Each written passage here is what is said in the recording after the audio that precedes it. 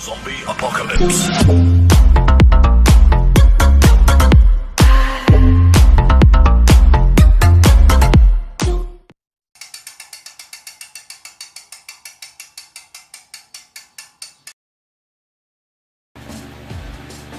Kumusta guys? Ah, siya nga pala sa mga nanonood ng aking mga video. Maraming maraming salamat. Ganon din sa mga nag-subscribe sa aking channel. Ah, maraming maraming salamat sa inyo. Pala guys, may mga in-order akong bag na ilalagay natin sa ating ginagamit na pang bike packing.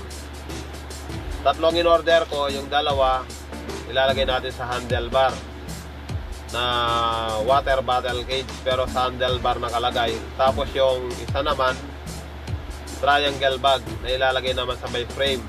Gagamitin natin yon dun sa ating bike na rider shark na nilagyan ko ng front tsaka rear rack na ginawa ko noon. Ngayon naman bumili ako ng bag na ating ilalagay na in-order ko galing sa Shopee buksan natin guys, tingnan natin kung ano yung mga itsura niya. Ito nga pala, dumating na yung aking in-order. Buksan natin.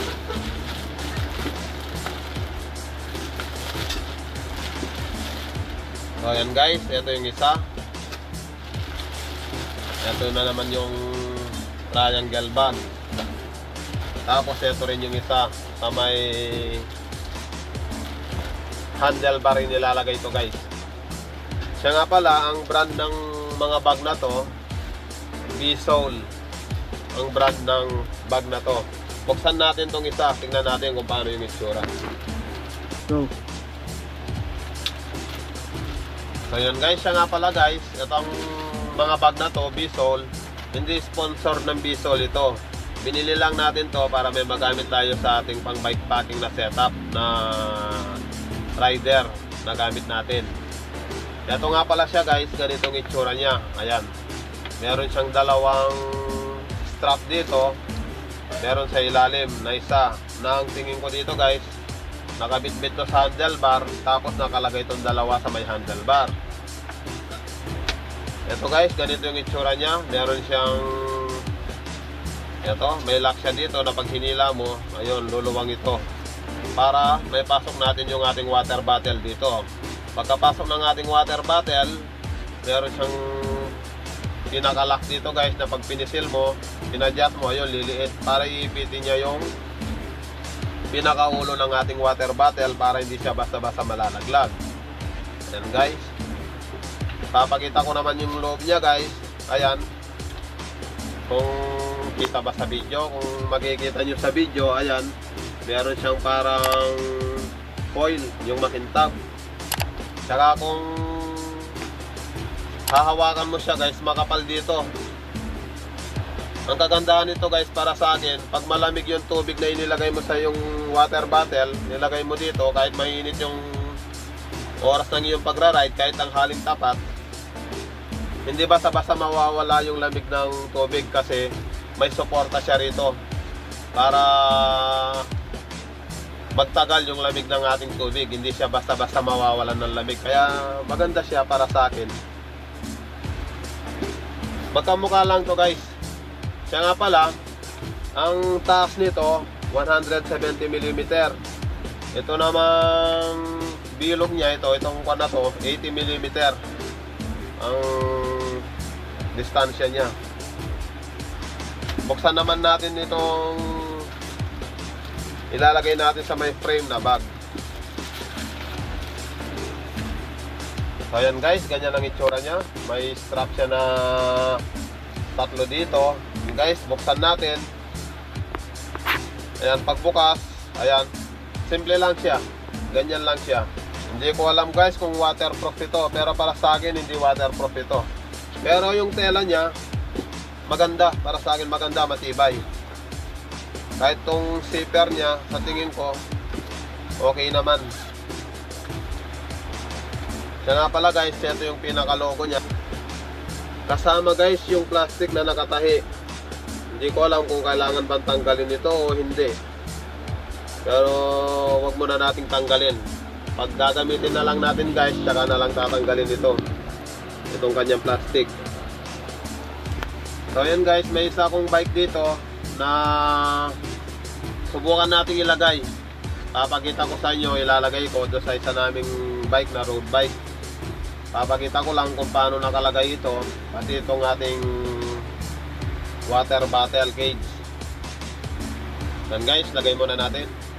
So yun guys, dito sa road bike na to na gamit ng anak ko, dito natin subukan ilagay kung paano yung kalalabasan. Pero hindi para dito yun, sa sample lang natin. Lagay muna natin guys, para makita natin kung paano ito. So yun guys, unahan natin ilagay itong sa ilalim. Itong dito natin ilalagay sa may handlebar. Ayun. Tapos may dalawa siyang strap dito. Alisin muna natin to. Yan. Guys, tapos papasok natin dito. Yan. Pagpasok dito guys, ganyan mo lang. Yan. Ayan, may lock siya doon. Dapat guys, nakagitna itong bumibit-bit sa gitna. Ayan. Tapos lagay din natin to. Ayan. Stop natin. Ayan. So ayan guys, may nakabit-bit na. Ang kagandaan nito guys, pwede nating ilagay dito yung GoPro habang nagbibideo tayo. Sa panahong nagra-ride tayo, pag biglang kailangan mong ibaba yung GoPro mo, pwede mong ilagay dito. Tapos dito mo na lang ulit hugutin.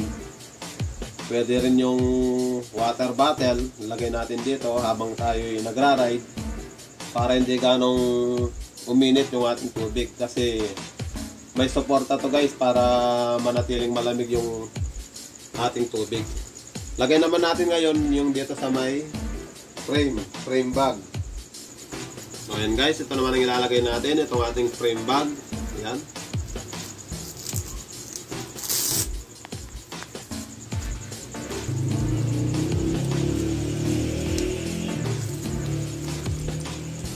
Pasensya na guys, di ko na binaba yung bike. Kasi sasample lang muna natin to. Kaya hindi naman natin talaga dito ilalagay ang mga ito.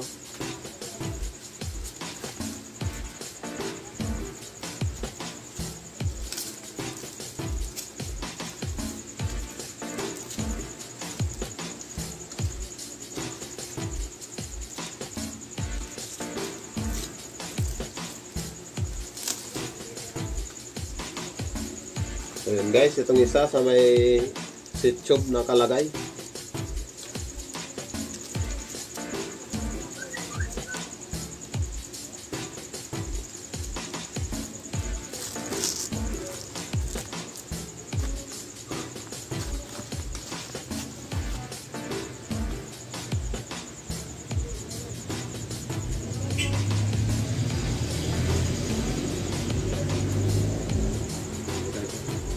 Yan guys, ang itsura ng ating bag na frame bag tsaka itong ating handlebar na water bottle cage.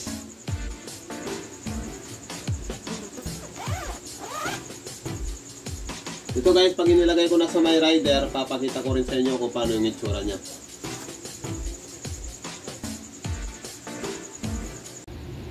So ayan guys, nilagay na natin yung ating mga in-order sa may Shopee na handlebar na battle cage saka yung ah, ating frame bag. Maraming maraming salamat sa inyong panonood guys. Sa mga hindi pa nakasubscribe, paki-subscribe na lang, paki-like na lang, paki-pindot na lang ang ating notification bell para updated pa kayo sa mga susunod pa nating video. Kaya nga pala guys, sa mga nag-subscribe, maraming maraming salamat. Ah, kung pwede rin sana guys, wag nang i-skip ang ating ads para may konting tulong naman tayo sa ating channel. So yan guys, maraming salamat sa inyong panonood. Hanggang sa muli.